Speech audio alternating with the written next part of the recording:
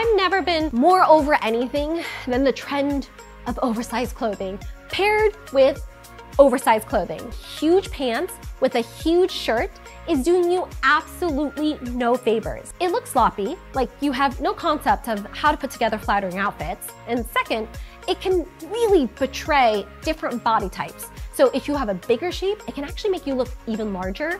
And if you're on the skinny side, it can actually make you look like you're swamped in fabric, so skinnier than you are.